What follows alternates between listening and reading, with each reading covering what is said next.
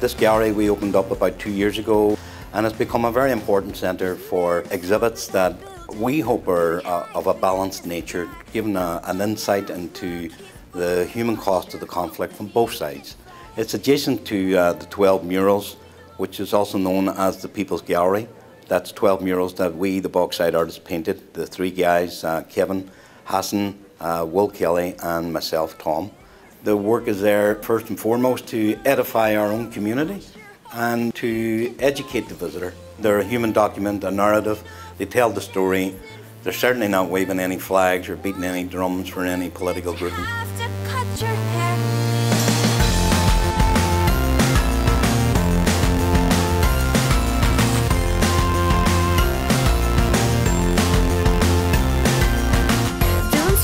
deafening turn into red Well, it's so cold that I can't hear I can't hear the voices inside my head Void's remit is to show the work of established international artists. In past years, we've had various different Turner Prize winners.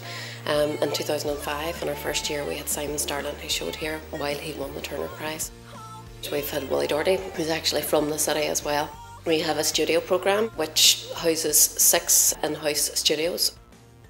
Void Art School is predominantly for 16 to 18 year olds who want to further their art education. Void Comics is created by Nick Brennan. He creates an edition of Void Comics for us for each exhibition.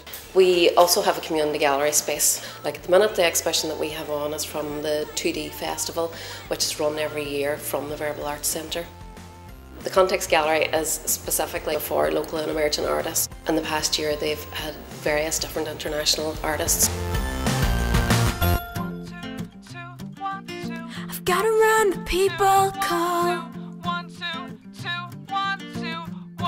Cause you exploded at the end of season one.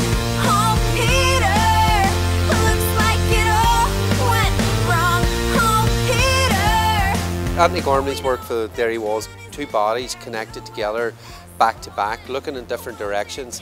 And if you actually look at the work and stand up, you can see through its eyes. And his proposition is if we stand up, perhaps we could see through to the other side and hear the other story. John Aiken's work is four granite blocks, which if you put them all together, make up the actual shape of the Derry walls. There is much more depth than just what you see on the surface.